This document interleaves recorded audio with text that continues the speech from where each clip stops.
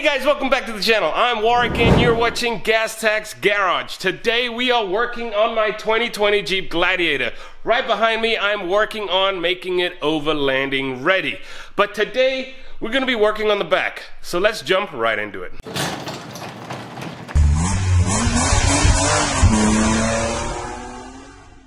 If you're new to the channel, thanks for stopping by. And if you're a long-time subscriber, always good to have you back. Just a reminder, only a couple more days to enter to win that $100 Amazon gift card. All you gotta do is comment on any one of my videos in November, like the video and subscribe to the channel, and you are automatically entered. Now guys, the last couple of videos have all been about upgrading the Gladiator from lights to winches. Be sure you check those out. There's a playlist all about this build. But today we're working on the back end here. You see, I have my ARE cap and there's some things I'm not happy about um, and the manufacturer really doesn't care to address them. So I'm gonna take things in my own hands and make that better or at least try and then we have a couple other things. So let's look at what we're doing. Firstly, since we're working on the back end, I'm gonna put my Hi-Lift mount on the back there right under the toolbox. This is just an accessory for the high mount so it doesn't open. Obviously install the high mount. I have got a cable that I'm gonna run all the way to the back here. This is for a rear winch. Or I have a race car trailer and there's a winch on my trailer. So if my race car breaks down, I will have power to the trailer. Now, that phone I've addressed before. Let me walk around here. Now I want to leave the window between the cab and the cap open, but there's a big gap in between. So I have to unbolt the cap. That's why I got the tape here just to realize uh, where it sits. Move it back. Install this foam um, weather strip. That way there's a nice seal there. That way I don't have rain and cold air blowing in and I can warm this compartment up with the interior heater when I run a pipe back here. Now the last thing I want to do is with the toolbox. You see when this is down, you can see that big white box. I don't like that look. Obviously, I'm never gonna be behind the Jeep, but I am going to wrap this part all black so it blends in nicely. And if you see here, this is what ARE says is normal. There's a huge gap between these spaces. So they are maxed out. So I wanna see if I can bore the hole bigger or even this one so these actually close. This is extra weather stripping I wanna cut off. Uh, and the same thing on the other side. Now I did buy a bunch of extra black there um, and I might wrap this window black. Well, this door black just so it blends in with the look. I kind of like a red. I kind of think I might like a black. So depending, I might jump into that too. So guys, a lot of little different projects I'm doing today, but I'm gonna find some good music so you guys can listen to that while you watch me move at double speed, fixing all of this stuff up.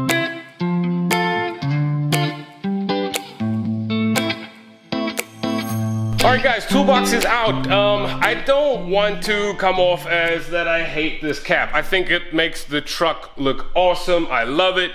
Um, but for $3,600, I think they can do better. They should do better. So I'm just seeing more things now that I take this out that I'm just gonna show you. Uh, first, the minor detail, but pretty annoying. But this sticker is under rivets here. The sticker will always be here and it's pretty crappy location. Um, this is clearly their part number. They should remove it once it's on. They know what part it is. There's a sticker here. I will remove that. But now when you get inside to this actual lip that the toolbox sits on, it's just in there by double-sided tape Velcro. To me, that's, what, what are you thinking? Like, and the double-sided tape Velcro doesn't even, look at that. So, that's perfect.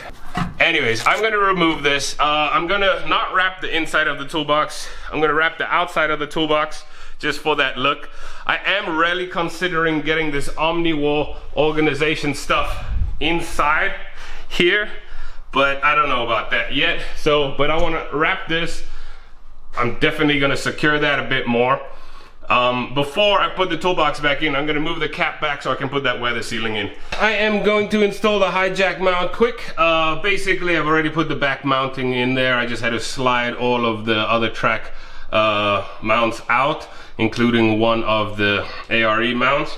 Slide that plate in. Uh, here is the actual hijack mount. It comes with a little rub rubber sticker that you stick on the back here so it doesn't uh, chafe on the bed. So I'm gonna quickly install these, put the jack in there so I can see if it fits all perfectly, and then I'm gonna slide the capper back. One thing I forgot, this is what I'm going to extend. I'm going to hopefully make this hole all the way back so uh, this nut can sit all the way back.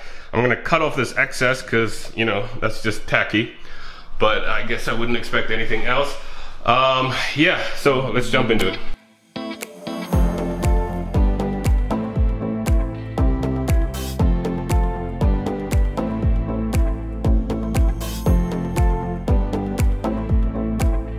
So guys, I know I don't look graceful uh, scooting back there, so sorry if your eyes hurt for a little bit there. As you can see, the bed is back where it should be, so that's perfect. Uh, one thing, if you watched my uh, Everything Wrong with the Kappa video, is when you close this, this gap gets progressively bigger. And I had a buddy tell me, uh, you know, these things flex quite a bit. If we just push this in a little bit when I'm clamping it down, maybe this gap will seal. So I will try that and I'll let you know what happens. Because look here, look at this gap, it's uniform. So I think he is right. This is a massive gap and this one sticks out a bit so it's got some wiggle room to clamp that in. What I'll do is I'll secure one side uh, in place and then I will do the other side and see if we can fix that gap up.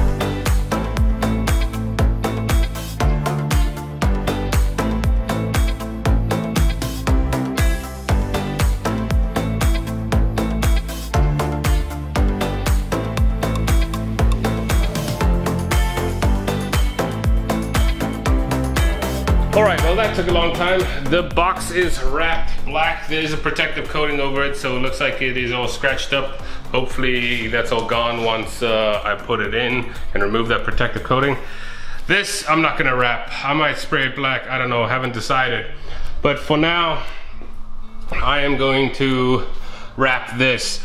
Uh, I can see I can take this seal off. I think then this whole thing just pops out.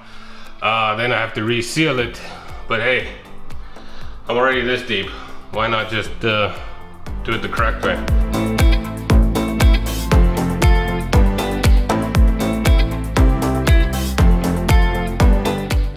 All right, guys, well, everything is done from wrapping the toolbox to wrapping the side. Uh, I got some of it on film. I worked late into the night, so my cameras died and I just wanted to get done.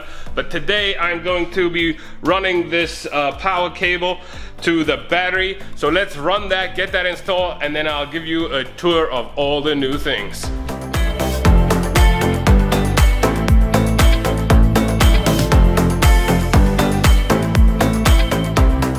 Alright guys, so I have wired the power cable all the way to the battery. Now again, this is for um, a rear winch because I have an extra winch. This is also for my camper to charge the solar powered batteries if there's no sun. And then this is also for my race car trailer. Uh, there's a winch on the trailer in case my race car breaks. I can use a powered winch to get on there. Anyways, let's go through the full tour of everything I did this video. So here is the rear plug. Um, this will be connected to the trailer, so it fits perfect there. This distance between the tow hook and there may have to change, but uh, only time will tell. And when this is not in use, obviously, that just covers it up. I am going to fill this with some dielectric grease so nothing rusts up in there, just so you guys know. All right, moving on to the interior here. Let's turn on some lights. All right, so as you can see, I have wrapped that whole toolbox black. The reason I wrapped it black is firstly so it looks better, but then also, if you remember at the beginning of the video, you could actually see the toolbox in there. Now you can't see it, which is, you know, visually looking better. So that is all done. Next up, I didn't wrap inside here because this will be scratched with tools and I'm thinking about putting the OmniWall system in here. One thing I didn't do is reinstall these wings. Here they are. to me, they don't fit anyway, so what's the point in having them? So obviously the jack, it fits perfectly here, nice and secure. I like that mount. And guys, everything I've used in this video, there are links down below. And now for the creme de la creme. There we go. What do you think? It looks like a regular window. Let's check it out on this side. I think it blends in pretty good. I'm glad I went glossy because it looks like a window. And now I think people will think it's a window, but it's actually solid. Um, people won't see the toolbox, so maybe some added security. But anyways, guys, that's it for today. Next video, I'm gonna start wrapping things up on the Jeep here, uh, at least for now. But I'm gonna re, I'm gonna do all the wiring here, clean it up, because I have two more lights. Yes, I said lights, I promise, last video on lights. I got another ditch light because this looks lonely by itself here, so we're gonna mount one there. And then I have a light bar we're mounting under here. Then I'm gonna sort out all this wiring, show you guys how it's all done, show you how I've done it. Um, and then also, I'm gonna be protecting the positive cable along all the way to the back just in case it gets some chafing. So guys, thanks a lot for tuning in. Hope everyone has a happy Thanksgiving. And I want to say thanks to each and every one of you. We hit 2,000 subscribers a couple days ago. That is fantastic. I didn't expect it, um, but that is great. So thanks a lot. Happy Thanksgiving. And until next time, I'll see you then.